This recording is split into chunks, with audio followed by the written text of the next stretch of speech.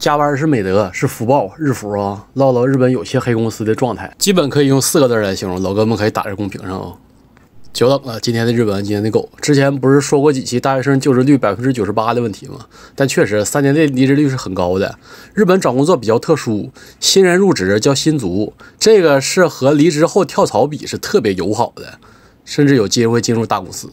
如果第一家公司没选好，工作经验没有积累到，然后就退职的话，可能一辈子都完犊子了，再也没法正经就业了。要么升个学再新卒，年龄又大了。这次投稿的主人公不是小帅了，是兵库县的三十代后半一个哥们儿，大晒二五郎，身份是属于技能工，设备交通输运输类的行业，年收是四百五十万，也不少了。最近刚刚跳槽到了某大手企业下的合并公司。根据他的信息来源看，这妈入职之后跟找工作说的完全不一样的内容，而且感受不到成长，感觉已经受不了了。到底咋回事啊？咱具体看看投稿内容啊。对，还得先说个前提，日子的运输业基本上就是高强度加上很容易黑的一类企业。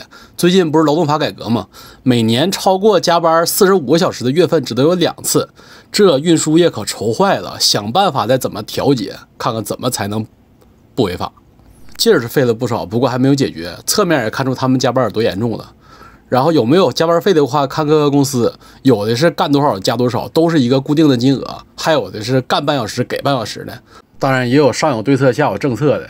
哎，反了，就是当时我同学打工的便利店，小姑娘店长。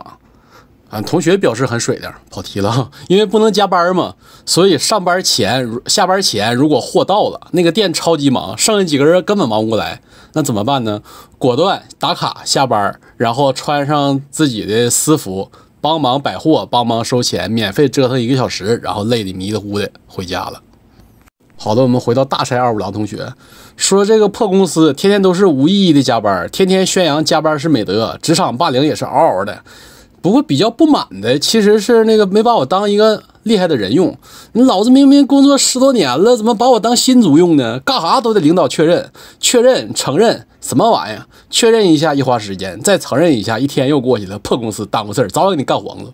不能他说啥是啥，我也中间说一句，你干的再久，你不也是这家的新人吗？上来怎么就能信得过你呢？行了，吐槽结束啊。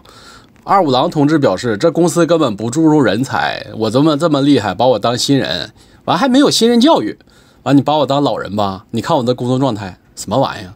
而且公司组织架构也有问题，根本就没有什么未来。背靠着大手企业，寻挺好呢，结果进来一看，一群混日子的小可爱，没人努力工作，太难受了。抓紧辞职吧，大家拜拜。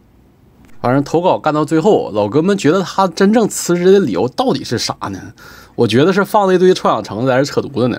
有些问题确实是有，但我感觉从他的话和他的言语来说，不像是决定性原因。